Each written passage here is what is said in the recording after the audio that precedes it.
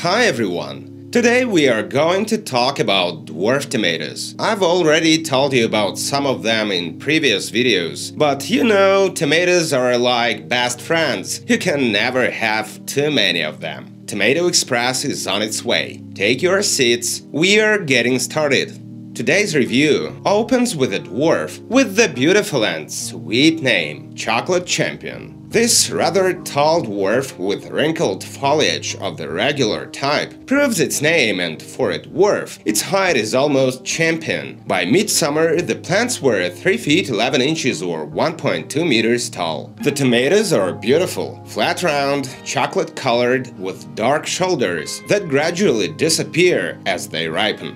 And this color they definitely owe to one of their parents, the Cherokee chocolate tomato. I was completely satisfied with the size of the fruit, which weighed between 7.6 and 11 ounces, or 217 and 307 grams. The flesh looks beautiful, bead brick color with a noticeable red spot in the center and greenish shades in the seed cavities. And of course, from Chocolate Champion, I expected sweetness in the first place. While tasting it, I felt a noticeable berry aftertaste. But in my case, sweetness was not too much. That is, the taste was okay, but at the same time, if you compare it to other tomatoes of a similar type, I would probably give preference to Wild Fred, in which the flavor accents are more pronounced. Who knows, maybe in other conditions and on different soil, Chocolate Champion would be better. After all, a true champion is afraid of losing, everyone else is afraid of winning. Another cute one is called Dwarf DSB, bred by Dean Slater, and probably the letters D and S in its name stand for Dean Slater, because there is also Dwarf DSA, for example, which I'm growing this season. In my outdoor conditions, the plants have reached a height of about 3 feet 4 inches or 1 meter. The tomatoes themselves are medium-sized bicolors and beautifully painted, light yellow with bright red stripes. In fact, there are not many such dwarfs, so I decided to grow it. The fruits were not too large and weighed from 6 to 7 ounces, or 173 to 200 grams. But even this is quite good for such low plants. Inside, the tomatoes are orange-pink in color, the flesh is juicy and marmalade. And after taking my first bite, I immediately realized that DSB was another tasty dwarf tomato. Despite the fact that bicolors of such shades are usually dominated by sweetness, in the case of these tomatoes the taste was complex with an excellent combination of sweetness and tartness. To be honest, I didn't even expect that the DSB would be so good, but now I can easily say that this is a tomato that you want to eat raw, which means that it is definitely worth growing. The name of the next tomato is related to the gem, all because of its coloring, Dwarf Emerald Giant. Originated from a cross made by Patrina Nuske Small and selected and named by Craig LeHoullier. It is a dwarfed version of green giant tomato, which by the way is very praised for its taste. The plant is powerful with a beautiful, wrinkled, literally velvet potato leaf, which I consider a real gem. At the same time, it is quite compact, only a little more than 3 feet 4 inches or 1 meter in height. The fruits are flat round, ribbed, green and quite large. At full ripeness, pinkish hues appear as well, so you don't have to determine its ripeness solely by touch, which is very convenient when growing green when ripe varieties. The weight of the tomatoes also pleased me and it was from 7 to 11 ounces or 203 to 314 grams. On the cut, they are really emerald, light green in color and quite dense. On the flavor, everything is in a good combination. A refreshing tomato aroma, with sweetness and nice acidity, and lots of juice. I was hoping for a good experience with this variety, and I was not mistaken. Fans of green fruited tomatoes will definitely appreciate the taste of Dwarf Emerald Giant. Plus, that potato leaf. Well, how can you resist?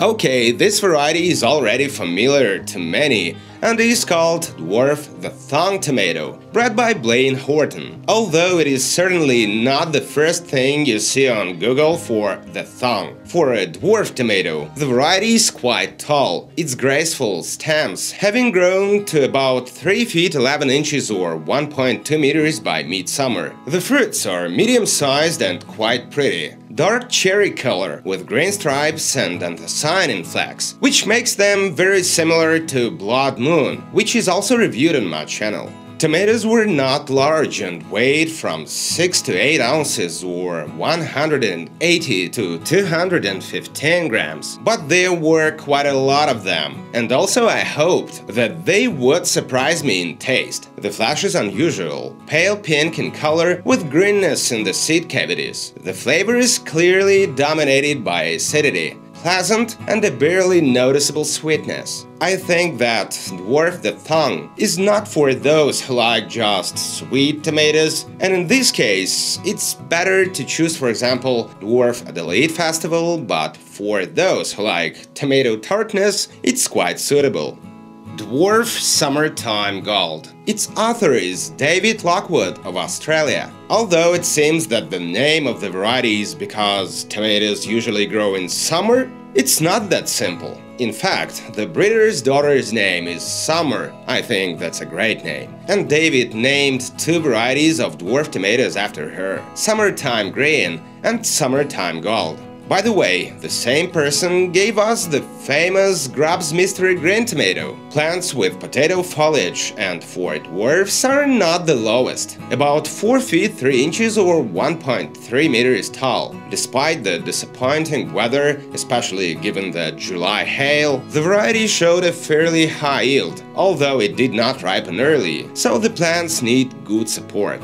Almost all of the fruits were about the same size and weighed between 6 to 9 ounces, or 216 to 250 grams. The tomatoes are a very sunny color, bright, almost white, light and beautiful, juicy and at the same time dense. I don't often grow tomatoes this light in color, so I was curious to try them. The flavor turned out pretty good, tart and sweet, with berry undertones, and reminded me of Adelaide Festival and Wild Fred, even though they are completely different tomatoes in color. All in all, Summertime Gold is another good dwarf for which we can thank David Lockwood. Unfortunately, he left this world at a very young age, which of course is very sad.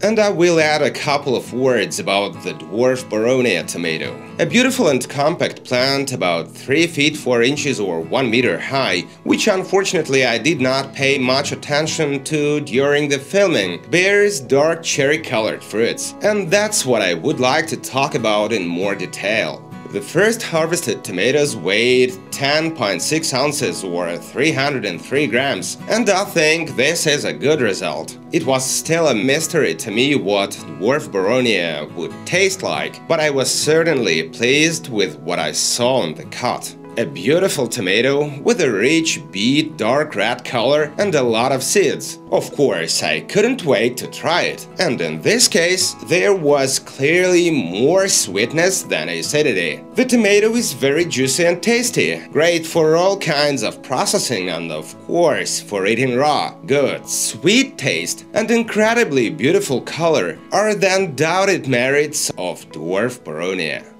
And on that delicious note, today's review has quietly come to an end. If you liked it, don't forget to subscribe, and I will try to continue to show you such a diverse and boundless world of tomatoes. Thanks for watching and of course, love tomatoes, grow tomatoes. This is the Lucky Garden channel and see you soon.